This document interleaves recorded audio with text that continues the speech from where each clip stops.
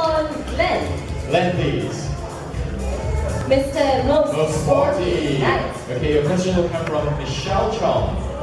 Hello, Hi Glenn. good evening. Do you know who I am? Uh, yeah. You better say yes. Do you really? I hear you're from Oxford. Are you uh, born and uh, bred in Singapore? Uh, yeah, I spent quite a bit, quite a number of years in Singapore actually. From the age of? Uh, no, I was born Singapore. I did military service. Oh, okay. Yeah. I just want to ask you, do you know who Lulu is? Yeah, Do you really? yeah, yeah.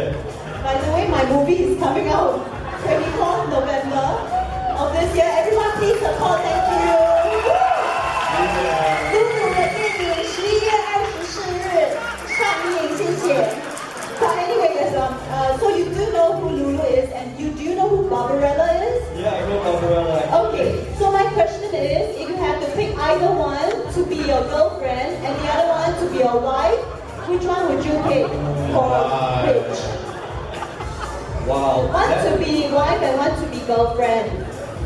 You better think hard and long. This You know who they are, right? Uh, I do, I do. Yes. Politically loaded. That's why I have to. Politically loaded. Oh wow. Yeah. Okay, so one is an SPG, one is a foreigner. These two issues are currently very, very hot in Singapore right now. One's a very entrepreneurial uh, Chinese PRC, Yes. leopard print loving, Leopard print loving, yes, exactly. but very kind and endearing.